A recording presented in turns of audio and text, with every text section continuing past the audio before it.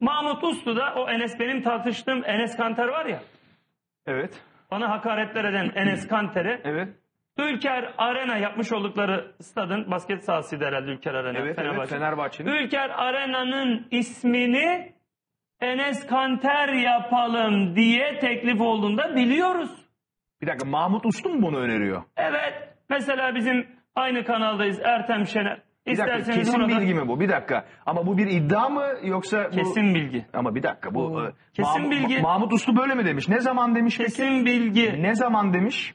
Bir dakika o zaman ben Tamam bana tarihini de söyle ama bunun ispatlanması lazım öyle e, havada Bak kalmaması şimdi, lazım. şimdi Enes Kanter, yönetici Mahmut Uslu beni yanına çağırdı.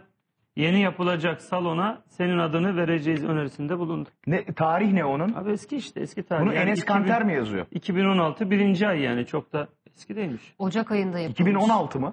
Evet evet abi işte.